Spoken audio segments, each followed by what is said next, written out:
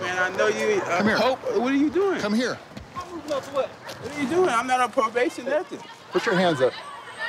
You don't have to search me, Hey, Pope. hey, I'm not on. You didn't ask me no questions or nothing, Pope. get your hands up. I know my rights, Pope. Is there a reason that he's under Hey, arrest? You yeah. got a reason? Hey, Pope, uh, you don't have no reason.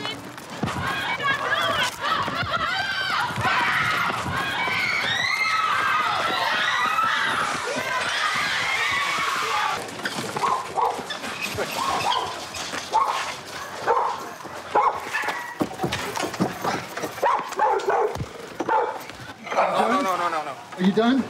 Are you done? Huh? Get cuffs. Pope, that's how you get down, bro. Look how you did me, though, bro. Send up. You gotta have me without no paperwork or nothing. Damn, Pope like that.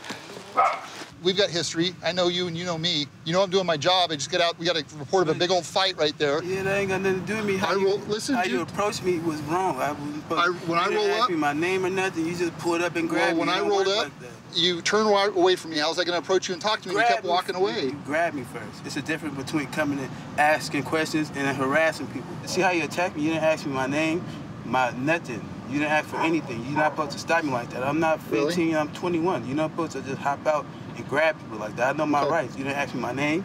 You didn't ask nothing. You just stopped me. It don't work like that. Okay, well, it did today.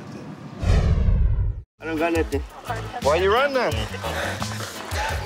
I know. You know you put everybody's life in danger, right?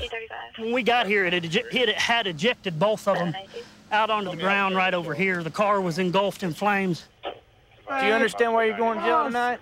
What? I'm You're going to jail. You're going to jail, George. What did I do? You had a bag of weed.